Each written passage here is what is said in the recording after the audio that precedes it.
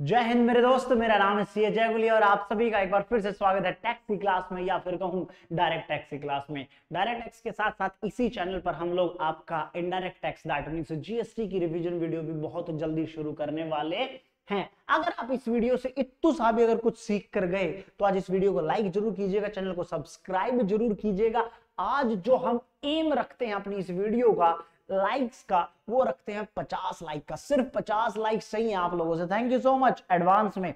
चलिए house property chapter शुरू करते हैं। सर जो इससे पहले के चैप्टर्स हैं, वो वो भी धीरे धीरे करके आएँगे, लेकिन सितंबर अटेम्प्ट सितंबर 2024 के लिए ये वीडियो बन रही है। तो उस अटेम्प्ट के लिए हाउस प्रॉपर्टी सबसे ज़्यादा इंपॉर्टेंट चैप्टर है। तो हमने इसी चैप्टर से आप लोगों की शुरुआत की है। छोटा सा चैप्टर है, बड़ा प्यारा सा चैप्टर है। सेक्शन कितने सेक्शन आते हैं सब इसमें? हाउस प्रॉपर्टी में जो सेक्शन है मेरे, वो 22 टू 27 हम कंसीडर करके चलेंगे। 22 23 वाले सेक्शंस जो अभी हम एक एक करके धीरे धीरे करके पढ़ेंगे। सबसे पहले हम पढ़ेंगे चार्जिंग सेक्शन चार्जिंग सेक्शन का क्या मतलब होता है? किसी भी हेड में अगर आप इनकम कैलकुलेट कर रहे हैं तो हर हेड का अपना एक चार्जिंग सेक्शन होता है। जो आपको बताता है कि अगर आपको हाउस प्रॉपर्टी घर में आना है हाउस प्रॉपर्टी हेड में आना है, कोई भी अपनी इनकम लेकर तो आपको इस सेक्शन में लिखी हुई बातें मानना पड़ेगा। उसके बाद ही हम आपको एंटर करने देंगे। तो सेक्शन 22 क्या कहता है? सेक्शन 22 ये कहता है, सबसे पहली बात, भाई साहब, आपके पास एक हाउस प्रॉपर्टी होनी चाहिए। उसके बाद हाउस प्रॉपर्टी के बाद आप उस हाउस प्रॉपर्टी के मालिक होने चाहिए। दो बातें आप मेनली फुलफिल कर देना। तीसरी कंडीशन बस नॉर्मल सी है, लेकिन दो बातें आपके पास ज़रूर होनी चाहिए। आपके पास ओनरशिप होनी चाहिए और आपके पास कोई भी लैंड बिल्डिंग होनी चाहिए। लैंड बिल्डिंग एक साथ होनी चाहिए चलिए जी। सबसे पहली बात मैं आपका एक भ्रम दूर कर दूँ। कई बच्चे सोचते हैं कि हाउस प्रॉपर्टी में सिर्फ़ घर आता है, क्योंकि आपको यहाँ पर पढ़ने को मिलता है हाउस तो आपके दिमाग में पिक्चर बनती सिर्फ़ घर, जो कि टोटली गलत है। हाउस प्रॉपर्टी चैप्टर सिर्फ़ रेजिडेंशियल के लिए नहीं बना, house property chapter commercial properties के लिए भी बना है। सर कमर्शियल प्रॉपर्टीज़ में क्या क्या आएगा? कमर्शियल प्रॉपर्टीज़ में शॉप्स आ सकती हैं, गोडाउन आ सकते हैं वर्कशॉप बिल्डिंग्स वगैरह आ सकती हैं। ये सारी की सारी मैंने यहाँ पर सिनेमा बिल्डिंग वगैरह, ये सारी की सारी मैंने यहाँ पर मेंशन कर रखी हैं। अगर ये पीजीबीपी हेड में नहीं आती तो इनसे आने वाली इनकम मेरी कहाँ पर कंसीडर की जाएगी? हाउस प्रॉपर्टी हेड में कंसीडर की जाएगी। अगर आपने कोई भी हाउस प्रॉपर्टी रेंट पर दे रखी तो उससे आने वाली इनकम मेरी कंसीडर होगी हाउस प्रॉपर्टी में।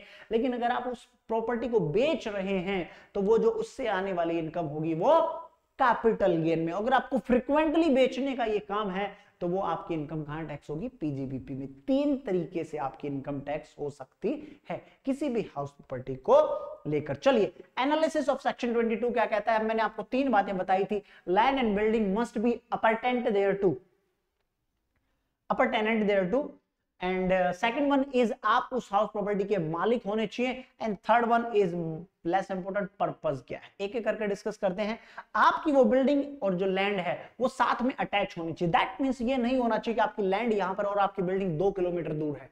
ऐसा नहीं चलेगा। आपकी बिल्डिंग और लैंड एक साथ होने ज़रूरी है। जैसे फॉर टेक एन एग्ज़ाम्पल मान लीजिए खाली लैंड का टुकड़ा है। खाली लैंड का टुकड़ा पड़ा है। खेत है, मान लीजिए। तो उस खेत से आने वाली इनकम तो एग्रीकल्चर हो जाएगी। लेकिन लेकिन अगर मान लीजिए मैंने वो लैंड खाली लैंड है, खेत नहीं है, एक ऐसी ज़मीन पड़ी है, बंजर ज़मीन पर एक ग्राउंड पड़ा वो मैंने रेंट पर दे दी। वहाँ पर कोई बिल्डिंग तो नहीं है दैट मीन्स वहाँ पर कोई हाउस प्रॉपर्टी नहीं है। तो उससे आने वाली इनकम मेरी I F O S income from other sources में टैक्स होगी। लेकिन मान लीजिए साथ में मैं उसके एक बिल्डिंग भी बना देता हूँ, वो बिल्डिंग भी किराए पर दे देता हूँ। तो land and building attached thereto appurtenant thereto that means वो जुड़े हुए हैं तो उससे आने वाली इनकम मेरी हाउस प्रॉपर्टी में कंसिडर होनी चाहिए। ठीक है भैया? ठीक है जी।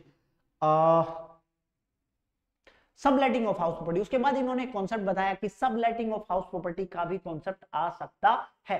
लेट से मान लीजिए मैं हूँ मैंने अपनी एक हाउस प्रॉपर्टी किसी को किराए पर दी उसने फर्दर वो किसी दूसरे बंदे को किराए पर दे दी। अब मैं तो ओनर था assessee assessee must be owner owner of the house property मैं ओनर था, इसलिए वो हाउस प्रॉपर्टी से आने वाली इनकम मेरी हाउस प्रॉपर्टी में टैक्स हो गई। लेकिन मैंने जिसको लैंड की, उसने दोबारा किसी को रेंट पर दी।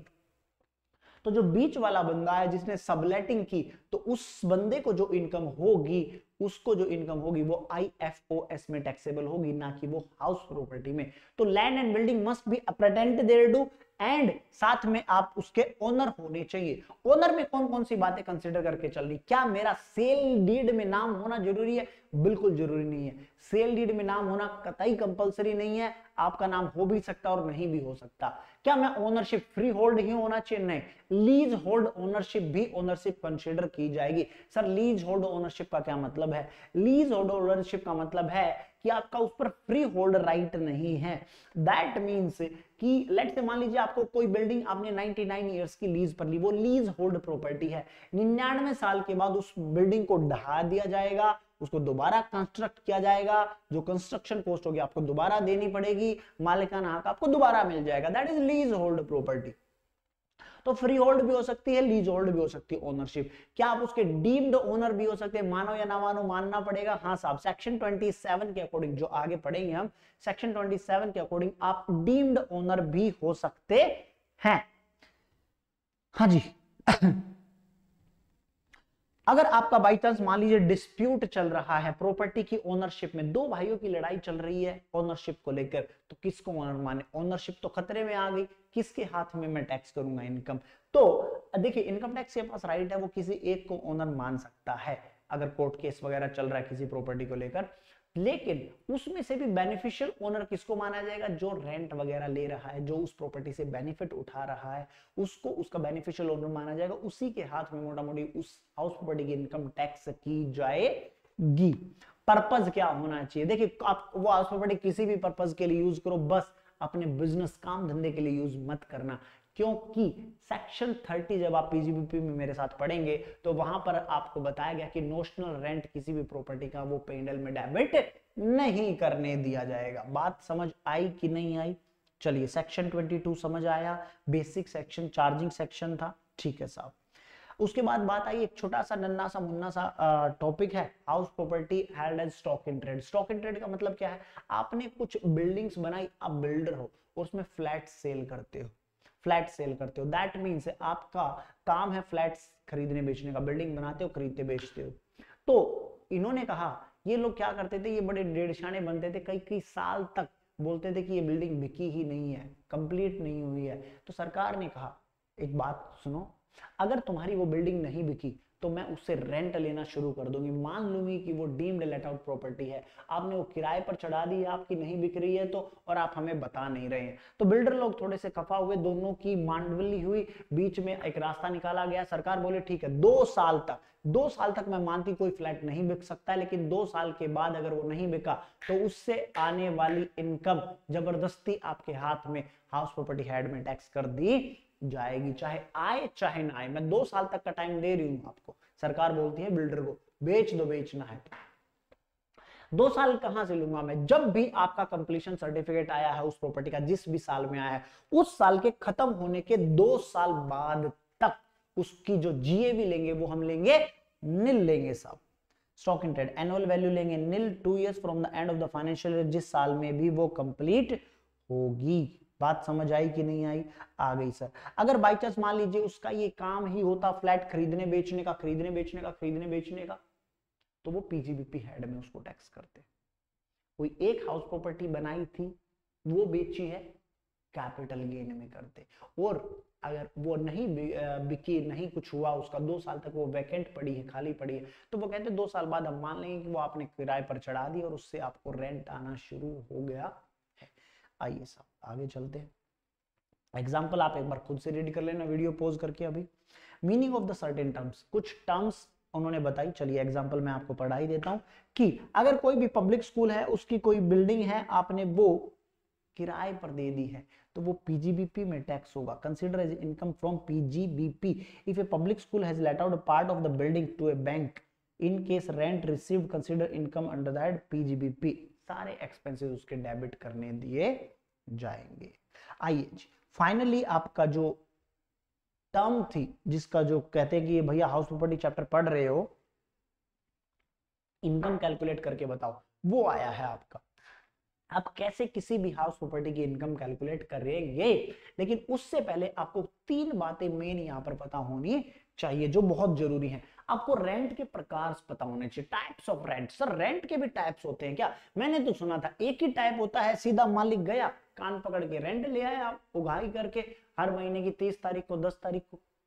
नहीं साहब, आप देखिए, बीच में क्या हुआ? एक वार्तालाप चली सरकार की और हो सकता है टाइम थोड़ा ज़्यादा लग जाए, लेकिन मेन है मेरा, आप लोगों के यहाँ तक पहुंचाना कॉन्सेप्ट को। यहाँ से उड़ाना नहीं है, यहाँ तक पहुंचाना मेरा मेन कॉन्सेप्ट है।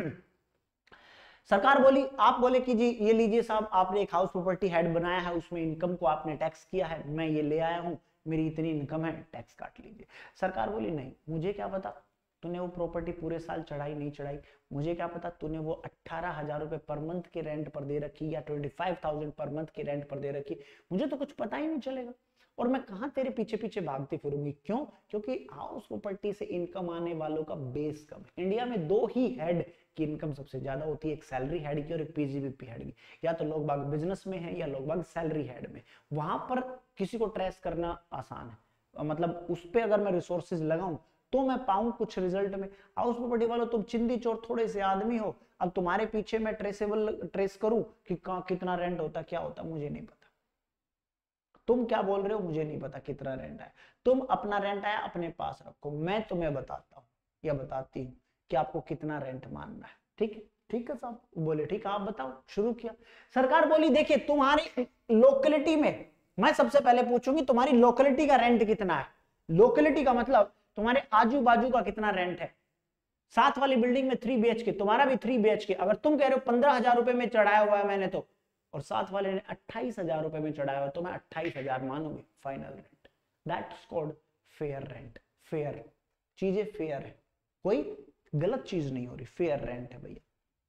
बात समझ आए उसके बाद आए municipal valuation municipal rent municipal rent क्या होता है? देखिए, हर एरिया की एक म्यूनसिपैलिटी होती है। उस म्यूनसिपैलिटी में म्यूनसिपल टैक्स निकालने के लिए तो उस एरिया में म्यूनसिपैलिटी बताती है कि इस एरिया का म्यूनसिपल रेंट इतना होना चाहिए मतलब रेंट इतना होना चाहिए उस रेंट को बोलते हैं municipal rent rental value determined by the municipality for the purpose of charging municipal tax house tax property tax बात समझ आई?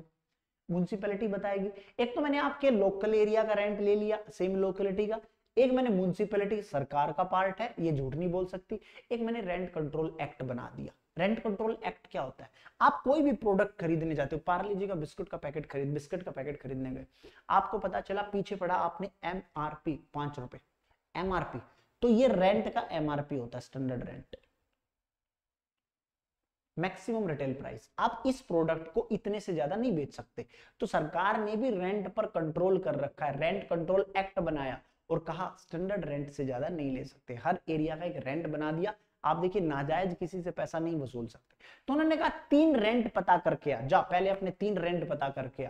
उसके बाद मेरे पास आइयो वो गया भागा भागा तीनों रेंट पता करके आया। आया, बोला, ठीक है साहब, मेरे पास फेयर रेंट भी, मेरे पास म्यूनसिपल रेंट भी, मेरे पास स्टैंडर्ड रेंट भी। तीनों रेंट उसने ला के उड़ेल दिए और मेरे पास जो एक्चुअल मुझे मिला वो भी दैट मीन चार रेंट हो गए। चारों रेंट को कंपेयर करवाया जाएगा पाँच चारों की आपस में लड़ाई करवाई जाएगी। जो जीता वही सिकंदर होगा। लड़ाई कैसे करवाई जाएगी? सरकार ने बोला, इसके कुछ अलग रूल्स होंगे।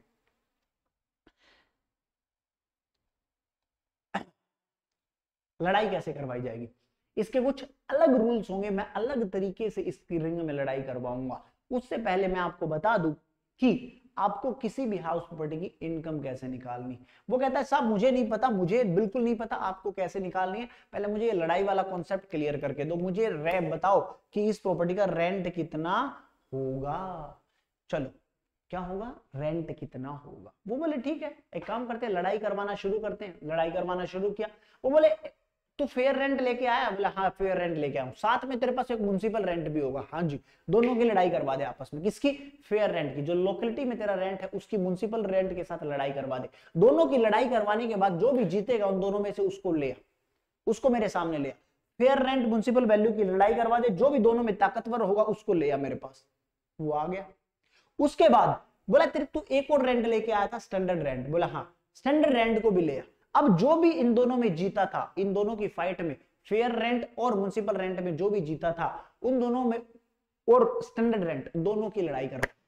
अब इन दोनों में जो भी कमज़ोर इंसान है, उसको मेरे पास। पहले किसको? ताकतवर को लेकर दोनों में हायर फेयर रेंट और municipal rent whichever is higher आपको लेना है। जो भी हायर फिगर आएगी, उसकी लड़ाई करवानी है, उसको कंपेयर करवाना स्टैंडर्ड रेंट के साथ। दोनों में जो भी कमज़ोर था, जो भी हारा, जो भी कम था स्टैंडर्ड रेंट और इसमें जो भी हायर आया था उसमें, जो भी इन दोनों में से लोअर होगा, वो आप ले आइए, उसको बोलेंगे हम एक्सपेक्टेड रेंट दैट मींस जो हाउस प्रॉपर्टी है आपकी, उससे हमारी सरकार की ये एक्सपेक्टेशन है एक्सपेक्टेड है कि आपको इतना रेंट तो मिलेगा ही मिलेगा। अब बोलो अब बोलो जो तुम्हारे पास है एक्चुअल रेंट रिसीव्ड दोनों को फिर लड़ाई करवाओ, दोनों में जो भी हायर आएगा, वो तुम्हारा होगा फाइनल रेंट फिर मैं मानूँगा ये तुम्हारी हाउस प्रॉपर्टी की हुई इनकम और जो भी इनकम होगी, उसको मैं एक नया नाम दूँगा कॉल्ड ग्रॉस एनुअल वैल्यू ये तुम्हारी ग्रॉस पूरे साल की वैल्यू होगी। हाँ जी, शाबाश, फटाफट।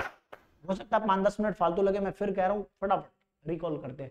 फेयर रेंट और म्यूनसिपल रेंट दोनों की लड़ाई करवाई, दोनों में से जो भी बल, ताकतवर, शक्तिशाली होगा, उसको हम लेंगे। उसमें जो भी जीतेगा, उसकी स्टैंडर्ड रेंट के साथ लड़ाई करवाएँगे, फिर जो भी कमज़ोर होगा, उसको लेंगे। दैट मीन पहले हायर फिर लोअर ले लिया जी लोअर को ले लिया लोअर को लेने के बाद लोअर को लेने के बाद उसका मैं कंपेयर किस, वो क्या निकल के आया? लोअर सर वो निकल के आया मेरा एक्सपेक्टेड रेंट एक्सपेक्टेड रेंट की एक्चुअल रेंट जो भी उस इंसान ने बोला था कि साहब मुझे एक्चुअल में इतना पैसा आया है, उसके साथ लड़ाई करवाऊँगा कंपेयर करवाऊँगा, दोनों में से जो भी हायर आएगा, वो मेरा जीएवी कहलाएगा.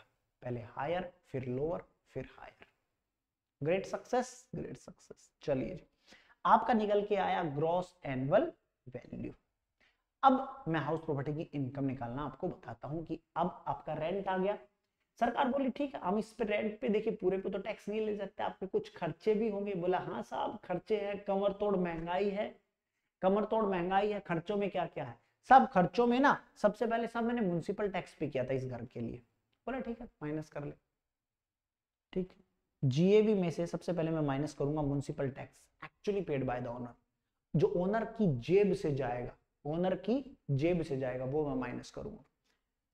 उसके बाद क्या बचेगा? पहले ग्रोस एनुअल वैल्यू था, फिर आ गया नेट एनुअल वैल्यू पहले जीएवी था म्यूनसिपल टैक्स माइनस करने के बाद आ गया NAV net annual value net annual value में से मैं दो चीज़ें माइनस करूँगा डिडक्शन के नाम पर। डिडक्शन के नाम पर दो चीज़ें। दो चीज़ों में क्या? एक तो स्टैंडर्ड डिडक्शन खर्चों के नाम की रिपेयर रिनोवेशन वगैरह जो हुआ, वो सब माइनस करवा दो। और एक मेरा इंटरेस्ट ऑन लोन आपने इस घर को बनाने के लिए इस घर को खरीदने के लिए लोन लिया होगा तो उस पर जो ब्याज जा रहा है, जो इंटरेस्ट जा रहा है, वो आप माइनस कर सकते हो। दैट मीन्स किसी भी घर के तीन खर्चे इन्होंने बताए। तीन खर्चे इन्होंने बताए, तीनों में माइनस करो। क्योंकि देखिए इनकम आई है तो खर्चे माइनस करके प्रॉफिट पर ही तो टैक्स लोगे साहब। टर्नओवर पर टैक्स कब से होने लगा टर्नओवर माइनस खर्चे। बिज़नेस में भी तो ऐसे ही करते सेल माइनस एक्सपेंसेस तभी तो जो प्रॉफिट बचता है, उसी पर तो हम टैक्स देते हैं। हाउस प्रॉपर्टी में भी ऐसा ही। आपका जो भी आया, बटोर के ले आओ और जो खर्चे हुए, वो माइनस करवा दो। खर्चे कौन कौन से हो सकते हैं? भैया, घर है, घर का क्या हो सकता है? म्यूनसिपल टैक्स पे किया होगा। अलाउड कर दिया हमने। रिपेयर रिनोवेशन इंश्योरेंस वगैरह कराया है कंस्ट्रक्शन कराया है, कुछ थोड़ा बहुत खर्चा किया है। कोई बात नहीं, हम उसकी फ्लैट डिडक्शन दे रहे हैं। हमें यहाँ पर भरोसा नहीं, आप बहुत झूठ बोलते हो। आप कहते हो, हर साल मैंने टाइलें बदलवा दी, हर साल मैं लिपाई पुताई कराता हूँ, हर साल मैं सफेदी कराता हूँ, हर साल मैं ये कराता हूँ, फलाना पीओपी नहीं। वो कहते हर साल नहीं होता, हिंदुस्तान के लोग इतने पागल नहीं उन्होंने बोला, एक काम करो, थर्टी परसेंट हमेशा ले लो। थर्टी परसेंट किसका? एनएबी का। और इंटरेस्ट आपने लोन लेकर ये घर बनाया होगा या ये घर खरीदा होगा तो उस पर जो ब्याज जाएगा, जो इंटरेस्ट जाएगा, वो आप माइनस कर दीजिए। जो भी बचेगा, वो आपका इनकम फ्रॉम हाउस प्रॉपर्टी कहलाएगा। ठीक है? एक एक टर्म को डिस्कस करेंगे। जीएवी निकालना मैंने आपको बता दिया है। जीएवी कैसे निकलेगी? आइए साहब, दो टर्म्स हैं। एक अनरिलाइज रेंट है, एक वैकेंसी लॉस है। अनरिलाइज रेंट का क्या मतलब है? कोई चीज़ रिलाइज होनी थी, वो हुई नहीं। कोई चीज़ रिलाइज होनी थी, वो हुई नहीं। मतलब आपके घर में किराएदार थे, लेकिन उनसे किराया आया नहीं। That is called unrealised rent किराया नहीं आने के दो मुख्य कारण हो सकते हैं। दो मेन कारण क्या हो सकते हैं? एक तो ये सामने वाला बाहुबली टाइप था, गुंडा टाइप था, बोला, नहीं दे रहा किराया, जा, कर ले, क्या करेगा? एक दूसरा बहुत गरीब इंसान था, वो बोला, साहब, मेरे पास तो खाने के पैसे नहीं, मैं रेंट कहाँ से दू? तो दो ही सूरतों में आपके पास रेंट नहीं आ सकता। Unrealised rent house was let out आपका घर किराए पर था but rent could not be recovered from the tenant दो रीजन हो सकते हैं। वैकेंसी लॉस वैकेंसी लॉस का मतलब है कि आपका घर ही खाली था कोई किराए पर था ही नहीं। Loss of rent because house property remain vacant during such period बात समझ आई कि नहीं आई? आयुषा आपने क्या निकाल लिया? आपने जीएवी निकाल लिया। अब जीएवी आ गया आपका। आ गया साहब। अब जीएवी आपने निकाल लिया बहुत आसान तरीके से। हाँ साहब, क्या तरीका है? सर म्यूनसिपल रेंट और क्या बोलते हैं फेयर रेंट को कंपेयर कराओ, दोनों में से हायर लो, जो भी आएगा हायर उसको स्टैंडर्ड रेंट से कंपेयर करो दोनों में से जो भी लोअर आएगा, वो एक्सपेक्टेड रेंट एक्सपेक्टेड रेंट को एक्चुअल रेंट रिसीव्ड से करवा दो। एक्चुअल रेंट रिसीव्ड का क्या मतलब? एक्चुअल रेंट रिसीव्ड का मतलब है ए बोलते हैं शॉर्ट में इसको।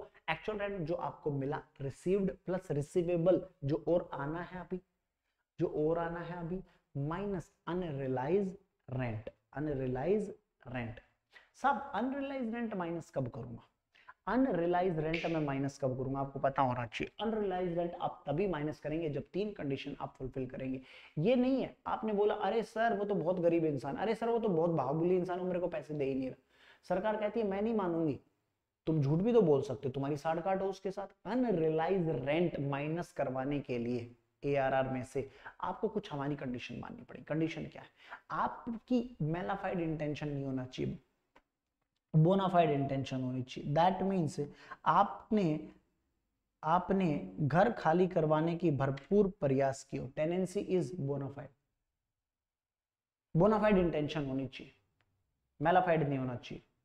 आपने घर खाली करवाने के पूरे प्रयास किए हो, आपने पुलिस कंप्लेंट भी की हो, आपने कहीं पर मुकदमा भी डाला हो उस पर कि ये मेरा किराया नहीं दे रहा और घर खाली नहीं कर रहा। तीसरा, आप ये नहीं है कि आपने एक घर से खाली करवा के दूसरे घर में दे दिया। आपके पास दो घर थे, आप बोले, इसको छोड़ के दूसरे वाले में रहने लग जाओ। अनरिलाइज रेंट मेरा माइनस हो जाएगा, मेरे को कम टैक्स देना पड़ेगा। टेनेंट बोला, ठीक है, मुझे क्या दिक्कत आपके वो किसी भी हाउस प्रॉपर्टी में सेम टेनेंट नहीं मिलना चाहिए। तो टेनेंसी बोनाफाइड होनी चाहिए जेनवन टेनेंसी होनी चाहिए फेक नहीं होनी चाहिए। डिफॉल्टिंग टेनेंट को आपने कंपेल किया हो खाली करने के लिए, भैया, निकलो मेरे यहाँ से। आपने उस पर केस वगैरह दर्ज कराए हो। आपकी वो किसी अदर प्रॉपर्टी में ऑक्यूपाई नहीं होना चाहिए। आपने ऑल रीजनेबल स्टेप्स लिए हो रिकवरी ऑफ़ अनपेड रेंट के। तब ही आप ए में से माइनस करवा सकते हैं क्या? अनरिलाइज रेंट सबसे पहली बात, सबसे पहली बात कंप्यूटेशन ऑफ़ हाउस प्रॉपर्टी में आप जीएवी निकालते हैं। जीएवी निकालना मैंने आपको बता दिया, लेकिन ये जीएवी निकालना बताया आपको नॉर्मल कंडीशन में। आप नॉर्मल तरीके से ये जीएवी निकाल सकते हैं, आपकी जीएवी को तवज्जो दी जाएगी।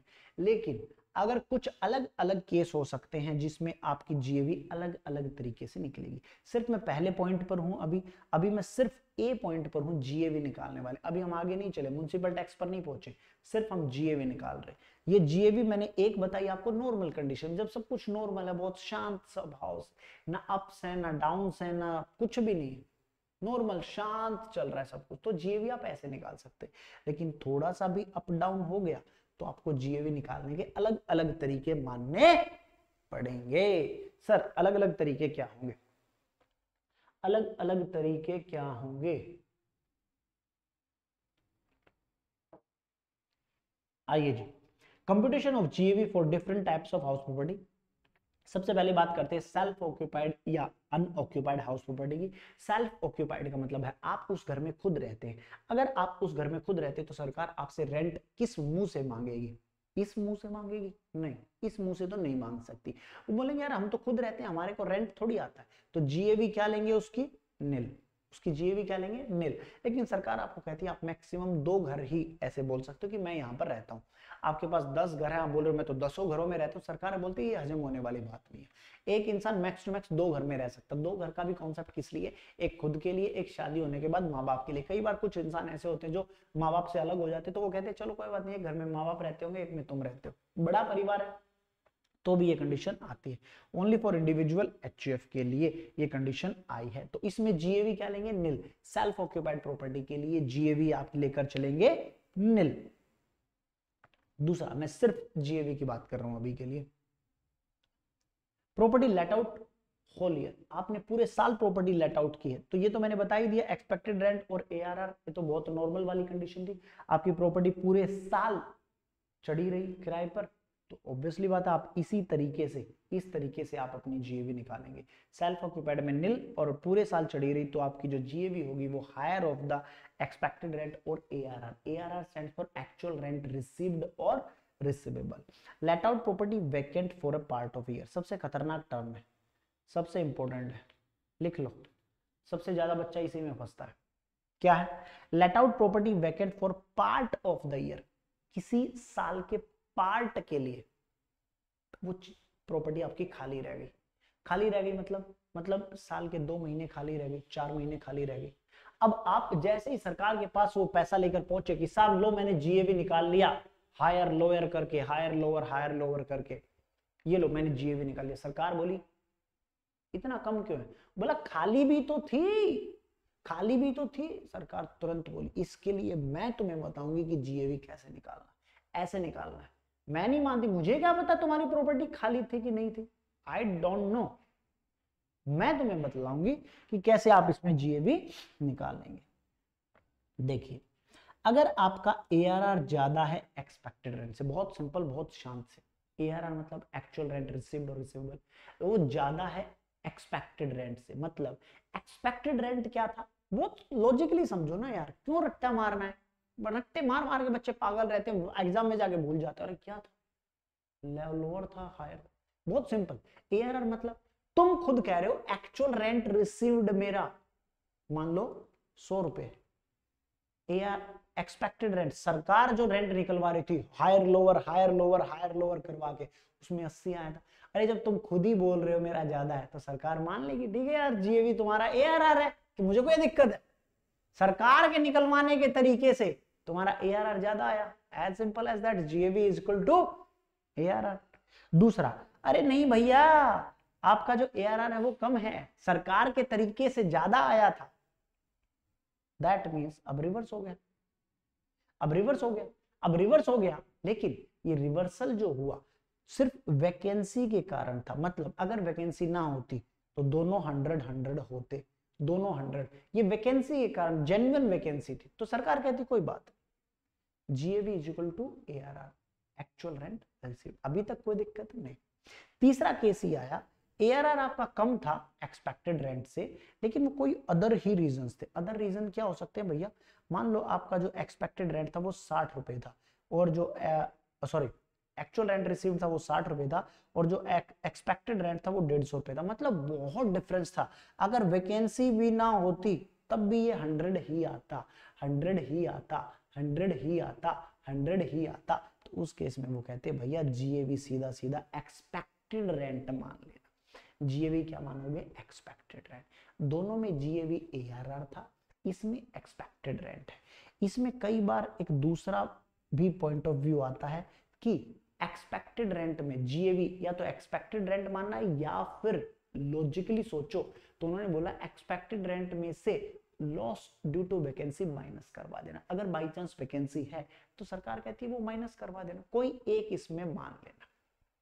ठीक है साहब? कोई एक आप इसमें ओपिनियन ले सकते हो। इंस्टीट्यूट में भी दोनों चलते हैं। कई क्वेश्चन में कुछ है, किसी, कई क्वेश्चंस में कुछ है। लेकिन आप कोई एक इसमें फॉलो करके चल सकते हो। और इंस्टीट्यूट कहा? कोई एक फॉलो कर सकते हो इसमें से। ठीक है? कई ऑथर्स जो आप डायरेक्ट टेक्स्ट में अच्छी अच्छी बुक्स लिखते हैं, उनके कईयों के ओपिनियन ये है, कई के ओपिनियन ये है। तो आप नोट डाल के कोई एक ले सकते हो। ठीक है जी? चलिए, तीन प्रॉपर्टी हो गई different types of house property एक पूरे साल खाली थी, एक पूरे साल चढ़ी हुई थी, एक पूरे साल ना चढ़ के कुछ महीने के लिए खाली थी। Fourth number let out for part and self occupied for part of the year time wise मतलब कुछ महीने आप खुद रहे, मान लीजिए आपका कोई नया घर बन रहा था, तब तक कुछ महीने, पाँच छह महीने आप उस प्रॉपर्टी में खुद थे मतलब सेल्फ ऑक्यूपाइड थी, फिर आपने वो खाली कर दिया अपने घर में शिफ्ट हो गए दैट मीन फिर आपने वो किराए पर चढ़ा दी। तो टाइम वाइज टाइम वाइज कुछ प्रॉपर्टी लेट आउट थी कुछ टाइम के लिए, कुछ टाइम के लिए सेल्फ ऑक्यूपाइड प्रॉपर्टी थी। तो इसमें जीएवी हो जाएगा आपका higher of the expected rent वो कह रहे भैया देखो, मुझे नहीं पता आप छह महीने रहे, आठ महीने रहे, कितने महीने रहे। एक्सपेक्टेड रेंट पूरे साल का निकालो और एक्चुअल रेंट जितना आपको आया था, केवल लेट आउट पीरियड का। दोनों को कंपेयर करा लो। दोनों में जो भी हायर होगा दोनों में जो भी हायर होगा, वो आपकी इनकम कंसीडर की जाएगी जीएवी माने जाएगी। More than two self occupied house property deem let out property देखिए, सरकार कहती है, भैया, मैं दो घर आपको अलाउ करती हूँ। आप कह रहे हो, जी, मेरे तो दस घर है, दस के दस सेल्फ ऑक्यूपाइड हम नहीं मानते। किसी दो घर को आप सेल्फ ऑक्यूपाइड मान लो, बाकी के जितने भी घर होंगे, वो डीम्ड लेट आउट मान लिए जाएँगे। मतलब मानो या ना मानो, आपके वो मान लिए जाएँगे कि ये प्रॉपर्टी आपने किराए पर दे रखी है और उससे वाले, आने वाली इनकम को हाउस प्रॉपर्टी में टैक्स किया जाएगा। आप ये कैसे कैलकुलेट करेंगे? हिट एंड ट्रायल मेथड से। एक क्वेश्चन भी है अपना क्वेश्चन बैंक में कि जिसमें तीन घर होते हैं ए बी सी पहले आप दो को सेल्फ ऑक्यूपाइड मानते हो, एक को लेट आउट फिर इन दो को मानते हो सेल्फ ऑक्यूपाइड एक को लेट आउट फिर इन दो को मानते हो सेल्फ ऑक्यूपाइड एक को लेट आउट तीनों में जिसकी भी इनकम सबसे कम होगी, वो आप ले सकते हैं। सरकार कहती है, आपको छूट है, आप किसी भी घर को मानो, आपकी चॉइस तो जो डीम्ड लेट आउट प्रॉपर्टी है, उसमें एक्सपेक्टेड रेंट मेरा जीएवी हो जाएगा। जो सरकार कहती है, वही मानना पड़ेगा डीम्ड लेट आउट है। और जो सेल्फ ऑक्यूपाइड है, उसमें तो ऑब्वियसली मेरा मिल ही रहेगा जीएवी बात समझ आई कि नहीं आई? आ गई सर सिंगल घर सिंगल हाउस है आपका one portion is let out another portion is self occupied मतलब एरिया वाइज ऊपर नीचे मकान बना हुआ है, नीचे वाला सेल्फ ऑक्यूपाइड है, ऊपर वाला लेट आउट है, या फिर एक ही फ्लोर पे छह कमरे छह कमरे में से तीन में आप खुद रहते हो, तीन आपने किराए पर दे रखे। तो उस केस में आपको क्या करना है, जो सेल्फ ऑक्यूपाइड है, उसका जीएवी लेना है निल और जो लेट आउट प्रॉपर्टी है, उसका जीएवी लेंगे आप एक्सपेक्टेड रेंट लेकिन only only only proportionate basis पर। एक्सपेक्टेड रेंट पूरे पूरे घर का निकलेगा, आपको प्रोपोर्शनेट बेसिस पर लेना है। छह कमरे थे, पहले आपने एक्सपेक्टेड रेंट छह कमरे का निकाला, लेकिन छह में से तीन में आप सेल्फ ऑक्यूपाइड थे तो सिर्फ़ तीन का फिफ्टी परसेंट ही आप यहाँ पर एक्सपेक्टेड रेंट लेंगे।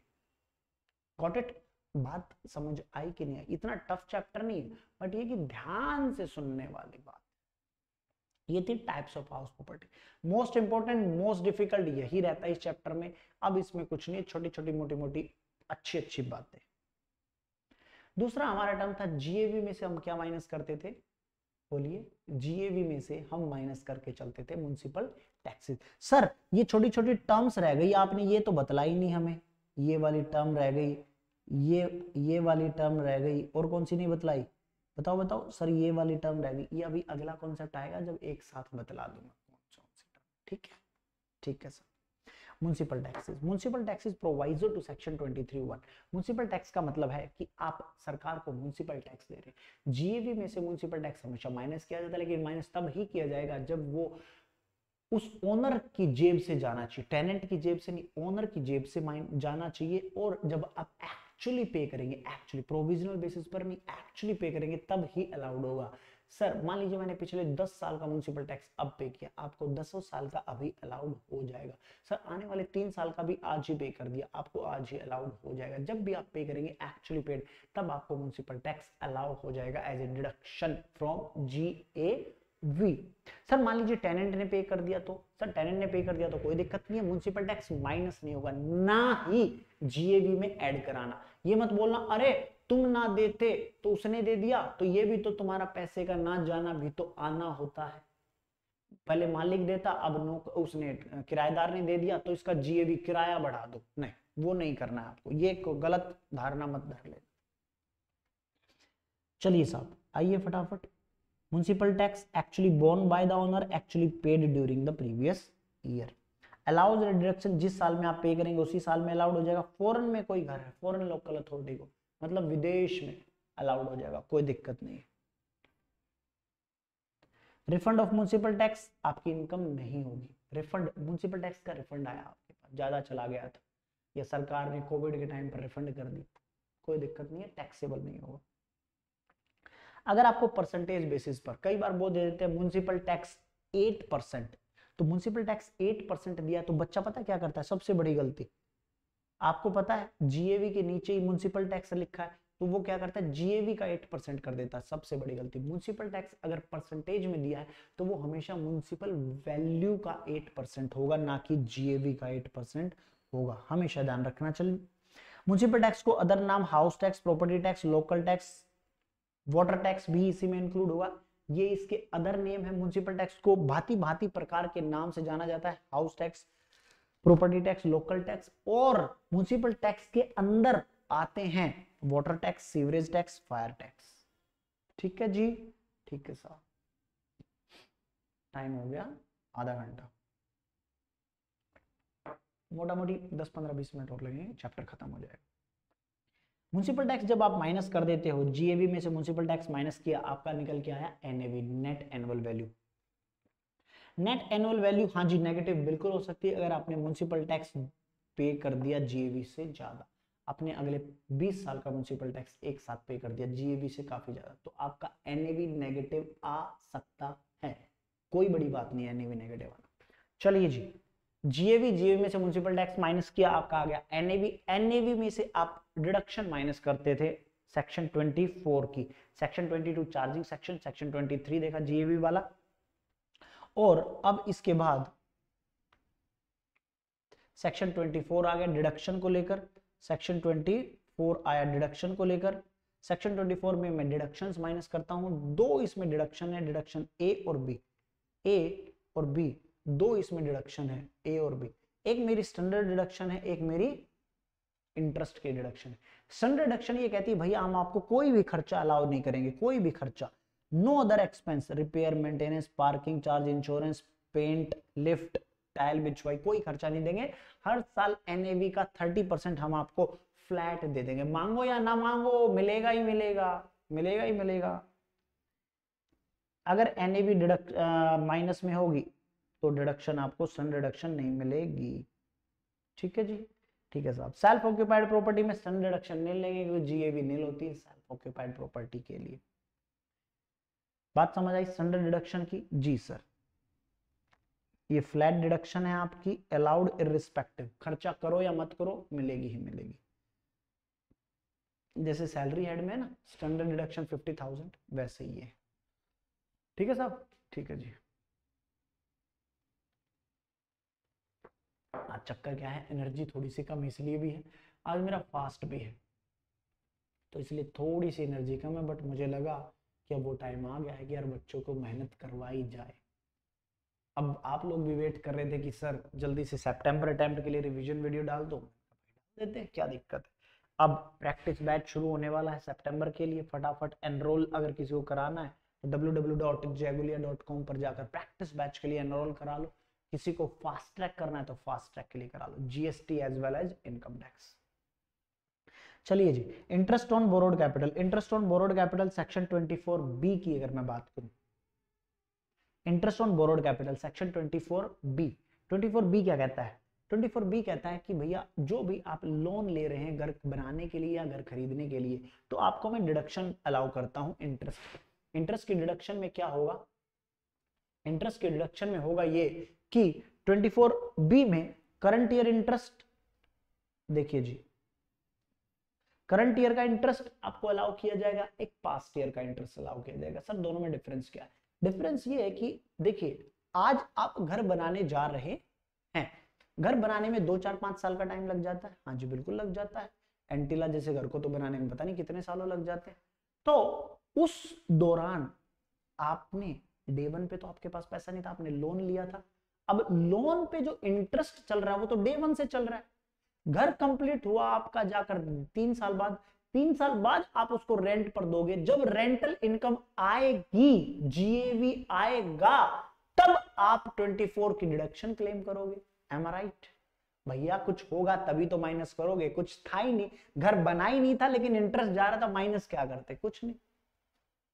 तो करंट ईयर इंटरेस्ट का मतलब है, जिस साल में घर कंप्लीट हुआ आप वो करंट ईयर का इंटरेस्ट होता है, वो आपको अलाउड हो जाएगा, कोई दिक्कत नहीं, उसमें कोई रोक टोक नहीं है। बात दिक्कत कहाँ आती है? प्रायर पीरियड इंटरेस्ट की। प्रायर पीरियड इंटरेस्ट का मतलब है जब भी आपका घर कंप्लीट हुआ, जब भी आपका घर कंप्लीट हुआ, उससे पहले की थर्टी मार्च ले लो।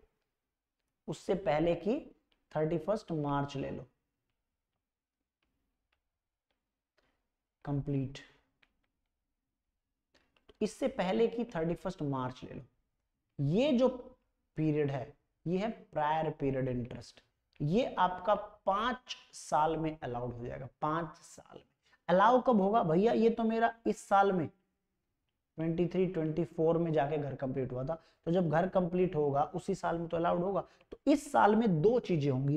एक तो करंट ईयर 23 24 का इंटरेस्ट होगा। और एक इस साल, इन सालों का, मान लीजिए यहाँ पर ये साल है। तीन साल है। वन टू थ्री तो तीन साल का इंटरेस्ट डिवाइडेड बाय पाँच। मान लीजिए एक लाख डिवाइडेड बाय पाँच। बीस हज़ार रुपए। तो यहाँ पर करंट ईयर का इंटरेस्ट प्लस बीस हज़ार रुपए पिछले सालों का इंटरेस्ट बात समझ आई? प्री कंस्ट्रक्शन पीरियड इंटरेस्ट जब भी आपका घर कंप्लीट हुआ, उससे पहले का। उससे पहले का इंटरेस्ट एक साथ नहीं दे सकते हम आपको। हम आपको पाँच साल में वो इंटरेस्ट देंगे। कैसे देंगे? क्योंकि अगर घर बनते ही मैंने पिछले चार साल का इंटरेस्ट एक साथ दे दिया, तीन साल का इंटरेस्ट एक साथ दे दिया लॉस खड़ा हो जाएगा ह्यूज लॉस तो वो कहते धीरे धीरे पाँच साल में जाके इसको खत्म कर लो। क्योंकि जिस साल में घर कंप्लीट हो, उस साल का खुद का इंटरेस्ट है, फिर पीछे का इंटरेस्ट फिर उससे अगले साल फिर खुद का इंटरेस्ट फिर पीछे का इंटरेस्ट तो अगले पाँच साल तक, पाँच किस्तों में हम इसको आपको अलाउ कर देते हैं। दो है, एक करंट ईयर का इंटरेस्ट एक प्री कंस्ट्रक्शन इंटरेस्ट हाँ जी। कहाँ से शुरू होगा? Thirty first March immediately prior to the date of completion of construction जब भी आपका घर कंप्लीट होगा, उससे जस्ट पहले की थर्टी फ़र्स्ट मार्च तक का इंटरेस्ट प्रायर पीरियड इंटरेस्ट में आएगा ही आएगा। उसका वन फिफ्थ आपको अलाउड हो जाएगा, पाँच इंस्टॉलमेंट में सक्सेसिव प्रीवियस ईयर में अलाउड हो जाएगा। ध्यान देना, एक जो मोस्ट इंपोर्टेंट बात है एक्यूरल बेसिस पर deduction under section 24 B for interest available on accrual basis मतलब आपने एक्चुअली पे नहीं किया, तब भी आपको इंटरेस्ट की डिडक्शन मिलती है। लेकिन, तुरंत तुरंत तुरंत यहाँ पर कंपेयर कराएँगे म्यूनसिपल टैक्स के साथ। म्यूनसिपल टैक्स आपको तभी अलाउ होता है जब आप उसकी एक्चुअल पेमेंट करते हैं। तो एग्ज़ाम में कभी भी कंफ्यूज नहीं होना कि म्यूनसिपल टैक्स और इंटरेस्ट कौन सा एक्चुअल बेसिस पर था। जो सरकार को पैसा जाना था जो सरकार को पैसा जाना था, वो एक्चुअल पेमेंट था। और बैंक से भी लोन ले सकते हो, आप प्राइवेट बैंक से भी ले सकते हो। तो यहाँ पर उन्होंने बोला एक्चुअल बेसिस पर भी डिडक्शन मिल जाएगी। ये पूरा का पूरा मैंने स्टेप दे रखे हैं एक एक करके कि आप प्रायर पीरियड इंटरेस्ट कैसे निकालोगे। सबसे पहले आप लेंगे date of borrowing of loan आपने किस दिन बोरो किया था? आपने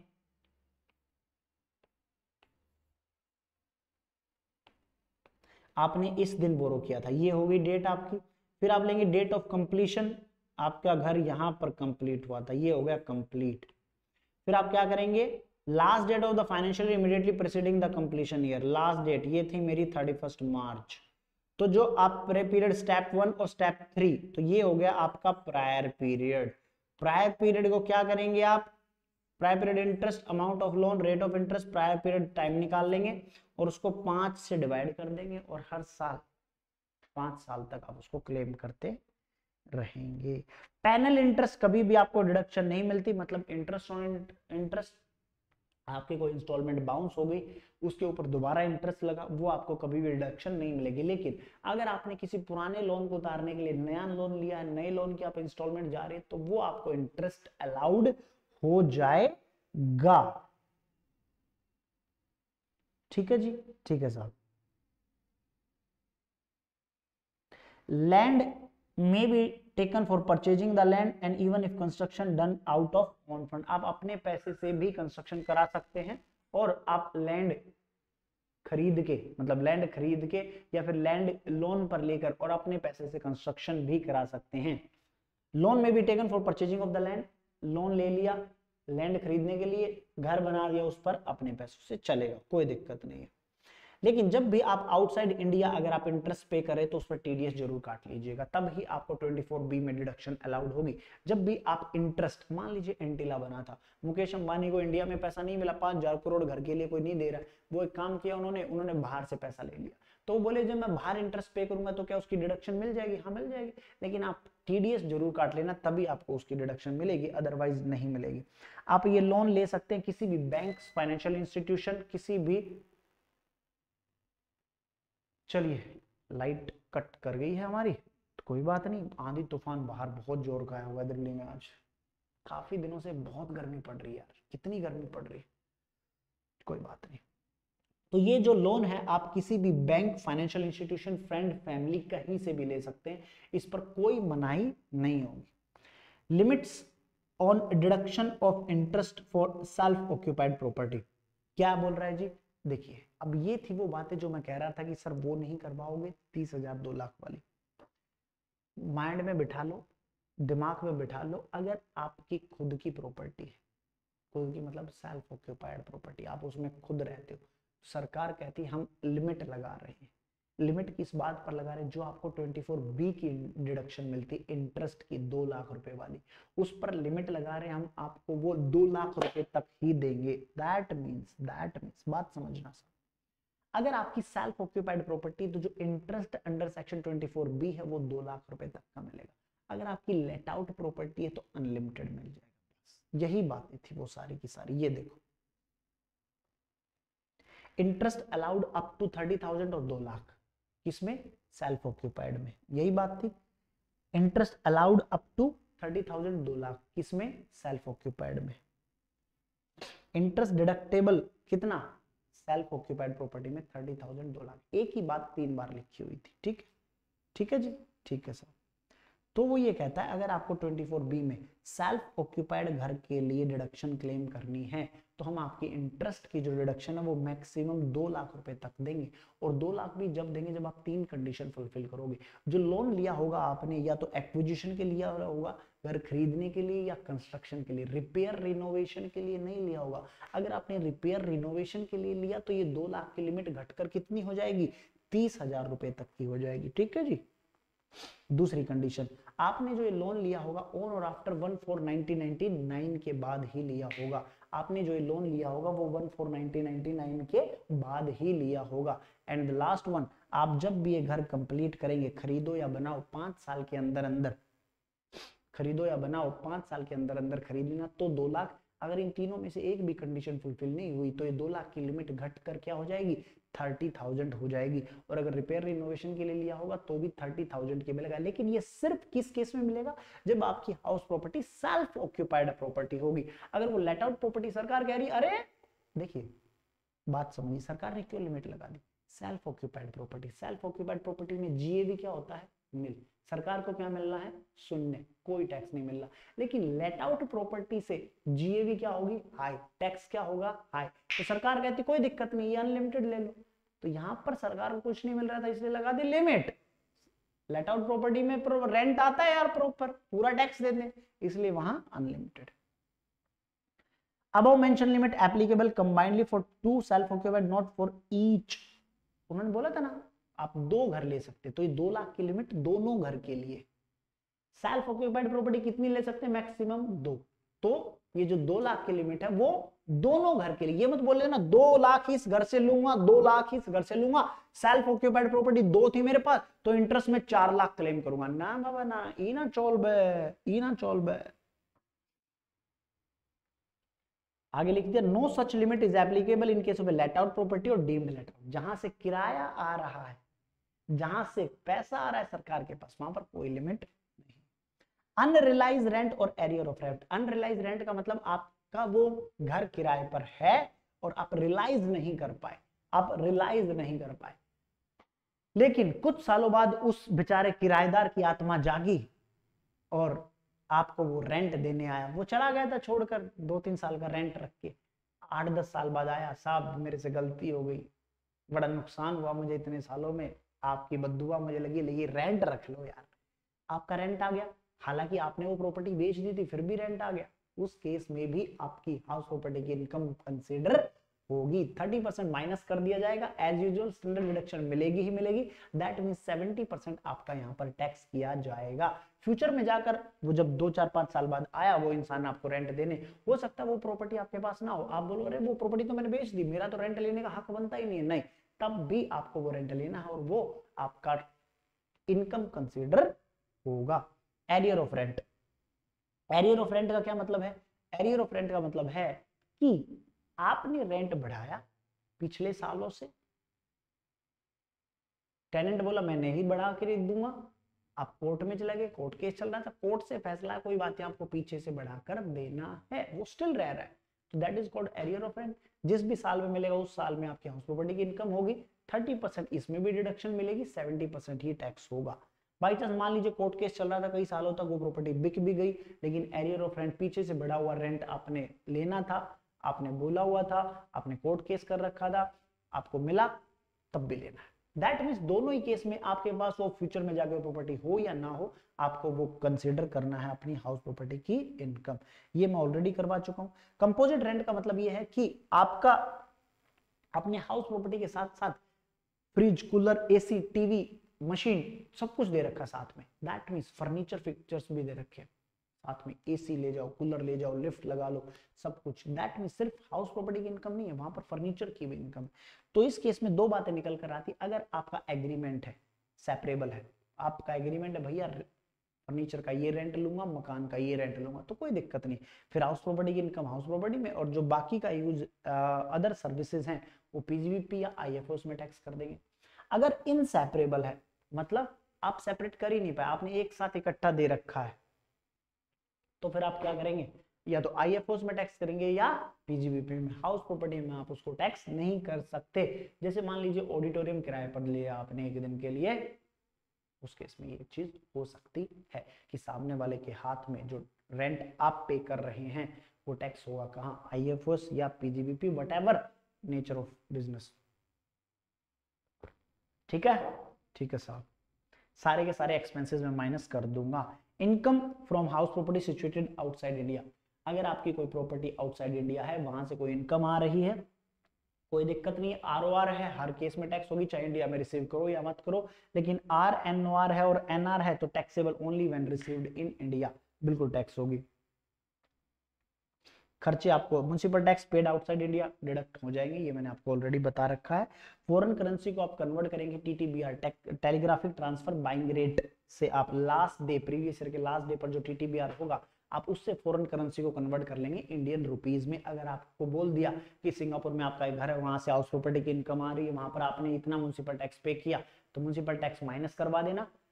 हो सकता है आपको डॉलर में दिया हो तो जो टीटीबीआर है telegraphic transfer buying rate last day of the previous year का, उससे कन्वर्ट कर लेना इंडियन रुपीज़ में और अपने इनकम कैलकुलेट कर लेना।